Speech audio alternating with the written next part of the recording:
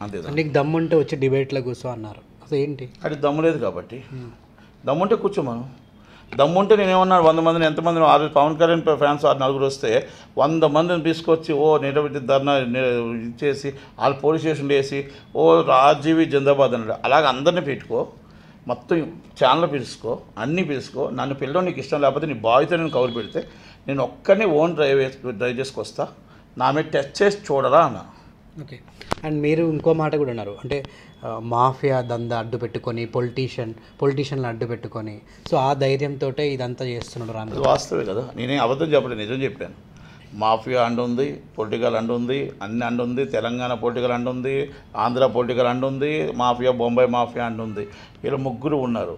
కానీ ఎవరు ముగ్గురు ఉన్నా యువతర కాసి నిజాయితీ ఉంటే ఎవరిది పనికిరాదు.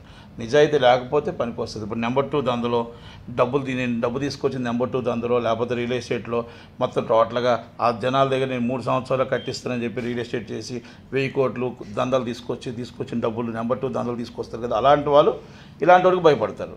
నేను ఎందుకు భయపడతా? ముప్పై రెండు సంవత్సరాలు కష్టపడి రాత్రనక పగనక కష్టపడితే మాకు ఈ డబ్బు వచ్చింది. మేమేదో రెండు రూపాయలు డబ్బులు ఆశపడి పెట్టాం. కనుక మేమెందుకు భయపడాలి? ఇలాంటి వాటికి భయపడే మాకు మాది కష్టపడిన సొమ్ము. ఆ ఉన్న ఇంకా వెనకాల ఉన్నారు ఇరవై మంది ముప్పై మంది డబ్బులు వచ్చిన వాళ్ళు. వాళ్ళందరూ నెంబర్ టూ సొమ్ములు ఉన్నాయి. కనుక వాళ్ళు భయపడతారు నేను భయపడను. నాకు అవసరం. సో మంచి లెజెండరీ డైరెక్టర్ అండ్ రెప్యూటెడ్ మంచి రెప్యూటెడ్ రెప్యూటెడ్ నేమ్ ఉన్న డైరెక్టర్. అలాంటిది అంటే ఇన్ని సినిమాలు చేసినటువంటి అలాంటి డైరెక్టరు. మరి ఇలాంటి పనులు ఎందుకు చేస్తున్నాడు డబ్బు ఆశించా అసలు ఏంటి? ఏం ఎక్స్పెక్ట్ చేస్తున్నాడు రామ్ గోపాల్ వర్మ? రాంగ్ ట్రాక్ పట్టాడు అప్పుడు లెజెండ్ డైరెక్టర్ ఇప్పుడు జీరో డైరెక్టర్. ఈ ఆ పేరుని వాడుకుంటూ ఆ సినిమాలు కొంచెం ఎవరైనా వస్తున్న వాళ్ళకి కోటి రూపాయలు కోటిన్నర తీసుకుంటూ ఆ సినిమాలు తీస్తానని చెప్పి సినిమాని సినిమాలాగా తీయకుండా ఏదో చుట్టేస్తూ సినిమా చేస్తూ డబ్బులు వేసుకుంటూ డబ్బులు లేవు అన్నది డబ్బులు ఉన్నాయి. డబ్బులు ఫ్యామిలీకి పంపిస్తూ మళ్ళీ ఎలా డబ్బు సంపాదించాలని చూస్తున్నాడు తప్ప ఆ వచ్చిన డబ్బుల్లో ఎవరికైనా తీర్చాలనుకుంటే బాగానే ఉంటుంది. ఆయన కాంప్లెక్స్లు ఉన్నాయి బిల్డింగ్స్ ఉన్నాయి అన్నీ ఉన్నాయి. కాకపోతే పేరుకి అవన్నీ కూడా ఏంటంటే ఆ పేరుకి అన్నీ సెటిల్మెంట్ చేసుకుంటే బాగున్నాం ఆయన సెటిల్మెంట్కి ఆలోచించలే. డబ్బు కోసం ఆలోచించాడు. చివరిగా ఆయన సినిమా ఆగిపోవడానికి కారణం కూడా ఈ ఇష్యూ అయినా డేంజర్ సినిమా. మాకు డబ్బులు ఇవ్వాలి. కోర్టు వారు స్టే ఇచ్చారు.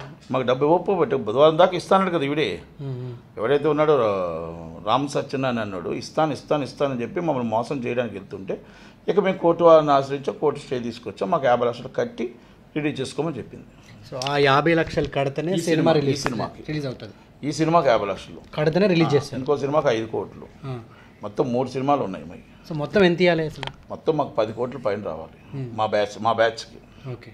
ఇంకా తక్కువ బ్యాచ్ బోల్ మంది ఉన్నారు. వాళ్ళందరికీ కలిపితే ఇంకా చాలా ఉన్నాయి. మా బ్యాచ్ పది కోట్ల దాకా. సో ఆల్రెడీ రామ్ గోపాల్ వర్మ గురించి మీకు అంతా తెలుసు. అయినా కూడా మరి ఇన్ని రోజులు ఎందుకు జర్నీ చేశారు మీరు? ఇప్పుడు ఆల్రెడీ మోసం మీరు గతంలో చాలా డబ్బులు ఇవ్వాలంటున్నారు కదా. తెలిసి తెలిసి కూడా మళ్ళీ ఎందుకు మోసం గతంలో ఏం లేదండి. యాక్చువల్గా మేము రెండు వేల పంతొమ్మిది నుంచి పెట్టాం మాతో రిలేషన్ ఉంది. ఇప్పుడు మాకు కూడా ఎప్పుడు తెలిసింది ఎంతమంది దగ్గర అప్పులు చేసి ఒక సినిమా ముగ్గురు అమ్ముతున్నారని మాకు మొన్నే తెలిసింది. ఇప్పుడేం కొత్తగా ఇప్పుడేం మాకు తెలియలేదు. అప్ప- అప్పుడు తెలుసుంటే మేమేది పెడతాం? కొత్త- మన మన తెలిసింది. తెలిసిన తర్వాత మూడు సార్లు నాలుగు సార్లు అడగడం జరిగింది. అడుగుతున్నాం అడుగుతున్నాం అడుగుతున్నాం. అడుగుతున్నా అడిగిన తర్వాత తప్పించుకుంటూ వస్తున్నాడు.